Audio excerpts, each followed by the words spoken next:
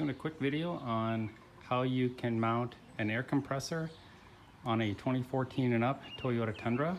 This is a 2019 Toyota Tundra and uh, this one has the 5.7 liter motor in it and I only mention that because the engine bay might be different a little bit between the 5.7 and the 4.6.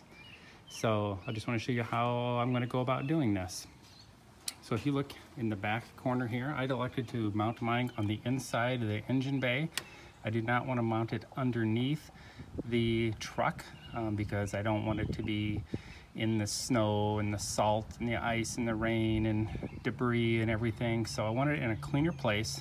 So this is the location where I've chose to mount my air compressor uh, that I'll be using for my airbag system and, and other things I may have uh, around air compressor usage on the truck. And if you look back here, you will see these two bolts here in this um, unit attached to the firewall. Two bolts there, and then down below is one more bolt. I'll see if I can get a picture of it right there. So what we're gonna do is we're going to show you what I found. This is a, an air compressor mount made by Sharkbite Motorsports. If you go to their website, uh, search for Tundra air compressor bracket. I'll put a link uh, in the description to um, the exact um, verbiage on, on what you'll want to search for. Um, it didn't come with like a part number, so I can't provide that, but I think they only sell one of these for the Tundra, so it's the only thing that's going to come up on their site.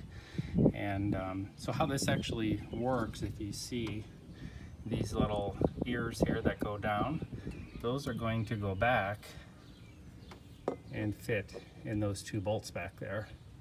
So we're going to loosen those up. No reason to take them all the way out. Just loosen them up enough so this can slide in behind it.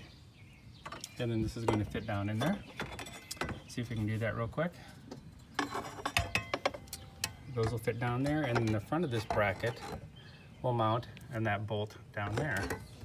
So in the end, it's gonna look pretty much like, I'm just gonna set this in there loosely. It's gonna look pretty much like that. And that's gonna give you a nice platform uh, in which to mount your air compressor. Nice little space back there. Kind of be out of the way and protected. And uh, there's even some mounting holes on here that you can use. This is designed for an ARB uh, compressor. Uh, mine is not an ARB, mine is an airlift.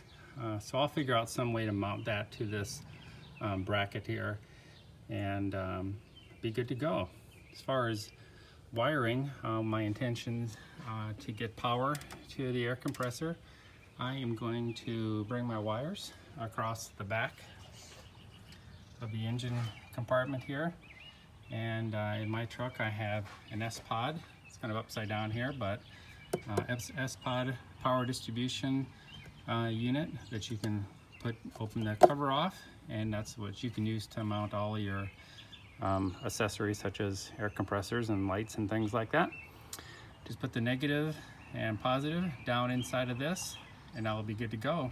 And then and this has a switch that goes into the inside the cabin of the Tundra uh, to a little switch box where I can turn on and off the air compressor and other accessories. I'll put a link to the description also for this S-Pod unit if you're not familiar with it, so you can look that up. But it's really handy uh, to use for uh, accessories. I've not got it completely wired up yet. I just kind of have it sitting here while I'm working on some other things. But all this thing does is this connects right onto the battery and that's your one connection up here for power then everything else lays down in here so that's my intention with the air compressor on this Toyota Tundra hope that was helpful have a good day